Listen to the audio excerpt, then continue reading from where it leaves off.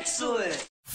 What's up guys, welcome to Probing Paul. This is my monthly Q&A segment where you guys ask questions and I answer them. All the questions I'm going to be answering from today are posted uh, last month's video, uh, Probing Paul number 13. We're now into Probing Paul number 14, uh, and, and there all of my old Probing Pauls are, going all the way back into, into into the past and history. Um, but real quick, a side note right here from the beginning. Uh, if you haven't noticed, I got a bunch of Ryzen processors. I am in the works on an overclocking video on those. I was planning on posting that today, but it's been slightly delayed, but it should be up in the next day or two. Uh, let's get right into this with our first question, which is posted on last month's Probing Paul from Cade Ramirez. What should you do with old PC parts? What is the best way to going about selling them?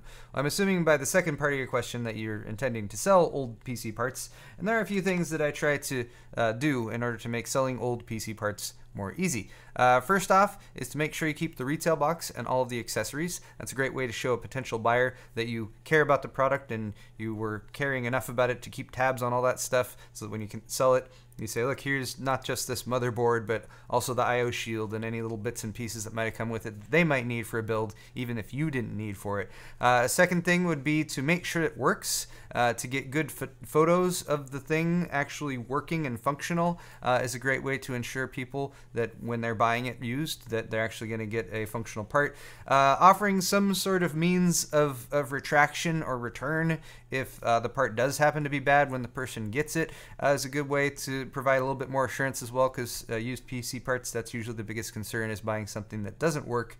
And then uh, I'd make sure that if you're using existing platforms like eBay, uh, eBay is a good way to do it, but you do tend to lose a decent chunk of money paying the eBay commissions and that kind of thing. And then if you're using like a local service like Craigslist or something like uh, LetGo, just make sure that you abide by the best practices for those as well. Meet in a public place, make sure the person's on the legit, make sure you confirm everything beforehand as far as price and that thing, that kind of thing. And with all that, you should uh, be able to get a good value for your used parts and then also hand them on to someone who might get some better use out of them. Next is Alex the Sniper 19. What is your opinion on the Ryzen gaming performance? My opinion is still evolving over time, but I'd say it's pretty good right now. Now, granted, right when Ryzen 7 launched, people were looking for what you could nitpick about it because that's what reviewers do. They find the shortcomings of a product and they tend to focus on those. So a lot of people got a little upset because there's like, oh, Ryzen 7, you shouldn't be gaming at 1080 anyway and that kind of thing. But I thought it was valid as far as the criticisms go. I was a little concerned about where it might go from there because in my experience, there hasn't been a lot of benefit to be gained in CPU performance with games as time goes on, uh, as you might expect with something like a graphics card.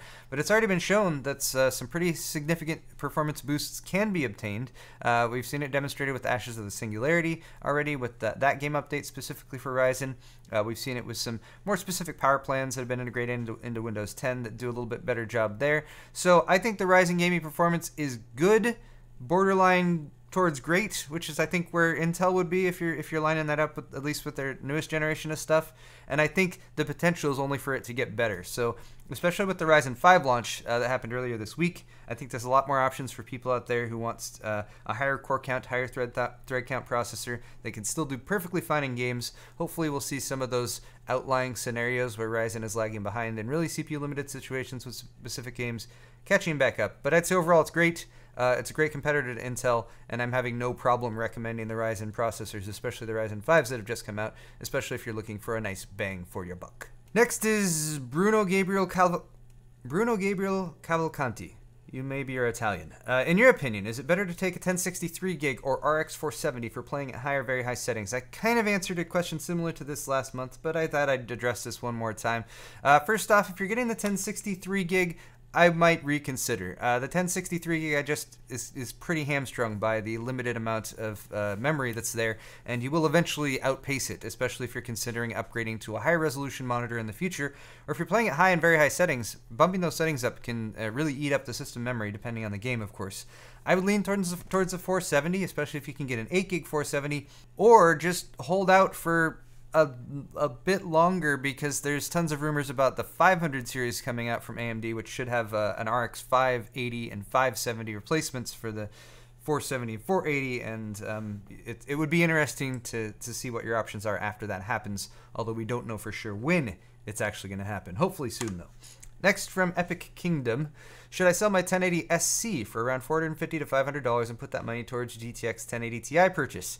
Now, my my advice would have been, and sorry that this was three weeks ago, but hopefully it's still relevant. If you're gonna do something like that, if you're gonna sell a high-end graphics card right when the next highest end graphics card comes out, you should do it right away because the view and opinion of the 1080 being the top GPU is going to slowly start to deteriorate as there's better cards or faster, more performing cards above it. So I'd say that do that do that more quickly if you can when the better card comes out.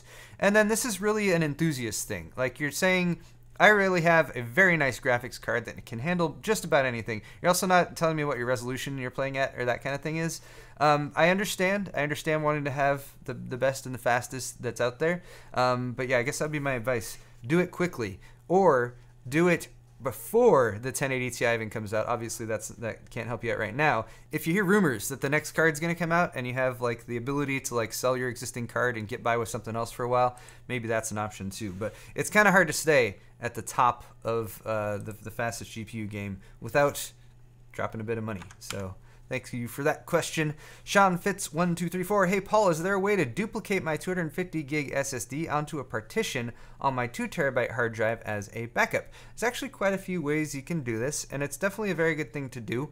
And actually, I, for quite some time, uh, would, would show people how to do it using this. This is the backup and restore Windows 7 function. So it's available in Windows 7, it's available in Windows 8, it's available in Windows 10, although in Windows 10 it's labeled as backup and restore Windows 7. Here you can uh, do a couple different things. The one that I like to do is create a system image. You can do this right after you install your operating system, get all your drivers installed, get whatever basic programs you want onto there, and then uh, the system image utility will let you take an image of your existing operating system drive, your SSD, and back it up to an attached mechanical drive or something like that. That will make an instantaneous snapshot of your. Oh, I can't. My this is this has blocked my shortcut keys from working. Here we go. That'll make an instantaneous snapshot of your operating system in the state that it is, and then you can use the Windows 10 uh, installer or Windows 7 installer, boot off of it, load that uh, snapshot and then overwrite your SSD, and then you kind of be back to where you started. Now, if you're looking for something that's more iterative, iterative that sort of does backups as you go, so you can like be like, I want to roll back to like a backup from a week ago. That also exists in here. You can set up a backup drive. You can tell it how frequently you want it to back up and everything. I don't think I've set one up on here yet, but again, it'll allow you to choose your mechanical drive or whatever to back up to. You can also save to a network drive, and that will actually do snapshots as you go along that you can kind of roll back to. So those are the functions that are built into Windows. Um, beyond that, I would suggest uh, if you want to pay some money for something, uh, get Acronis uh, because that's been the software that I've had the best experience with as far as just working, not having to do anything funky. And then if you want to get uh, a little bit uh, dirtier, get, get, your hands a little bit dirtier, maybe consider like Clonezilla, uh, which I believe is open source and free, um, but it's definitely a little bit tougher on the learning curve to sort of set up and use. Next question here from Rick Budzak. He said, "Wait, is that a Tamron 90mm f2.8 macro lens sitting there?" Uh, yes, yes it is. It's right here. This is my macro lens. So anytime I need like a super close up on something, uh, I use this one. It's a very nice little lens. I think it wasn't too expensive. I think it was only like three or four hundred bucks, which isn't terribly expensive when it comes to nicer, decent lenses. It's very large. Like when you when you actually focus, it gets it extends quite a bit. Uh, but any anytime you've seen me do videos like on a processor, like the Ryzen processors that just launched, and I have those close-up shots with the very shallow depth of field and, and bokeh going on and stuff like that, that's with this lens. I like it a lot. It's an EF mount lens, and I use it with the uh, Metabones adapter for my GH4. And uh, it's a great option if I need to get super, super close up on, at something. I'm really, really glad that I got it. Nick Roth asks, What do you do with your completed monthly builds when you're done benchmarking? Now, Nick, when you asked this, I had not yet posted uh, this video, which is what happens to my monthly PC builds, which is sort of an answer to your question. Um, although this one was honestly also part partially just like a, a, a, slight mini documentary of our trip to Vegas where we shot guns and did other things as well. So it was a little random, uh, but it was fun. And at the end of this video, I delivered uh, all, or at least like like like four sevenths of the parts from that. Uh, to Jennifer, who has been uh, helping me out on my channel and uh, is also a good old friend of mine. So um, basically I try to find uses for them. I guess would be the the the final question to that. Uh, often I'll take them apart, set the parts aside uh, and use those parts in future builds and that kind of thing. If I can find a good home for it, I'll definitely try to do that. Um, and then sometimes I do end up selling parts here and there, but often I just don't have time to do that. So I end up with parts piling up, which is, I know, not a terrible problem to have, but I'm working on other solutions for it. So I guess that's sort of an answer for you.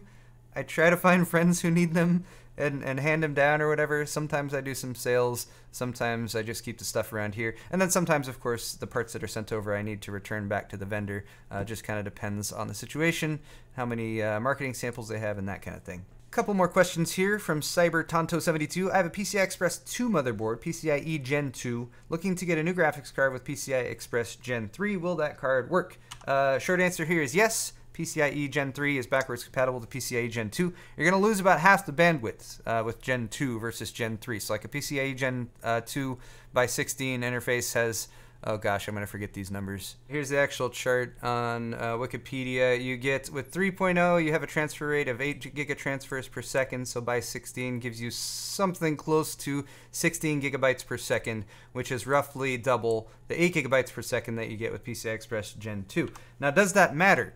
No. Uh, uh, in, in by and large, no. Yes, Gen 3 is a little bit faster when it's actually tested. It's like a couple percentage points, maybe faster. So you will get a little, slightly better performance with Gen 3, but you can still work with Gen 2.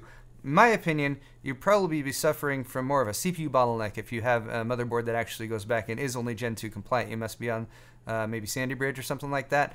Um, but you'll still be just fine for now. So I would say go ahead, get your graphics card, do that upgrade, uh, and then you know just keep an eye on your performance, and then plan to eventually upgrade the rest of your system in the meantime. Because if you're on Gen 2, uh, your motherboard and processor starting to get a bit out of date. Daniel Jensen has a question on the topic of poop looking, because that's one of the last questions I answered in the last video. Which way does your toilet paper roll, inwards or outwards? Uh, I would do, I don't know what you mean, but I think outwards. The the if the roll's here, the, the flap should be hanging on this side, and you're on this side. Um, and that is because I don't have cats. I will give it to anyone who has cats, put it on the inside, it keeps them from doing the claw thing. I've, I've never experienced that myself, but I've heard that's a thing.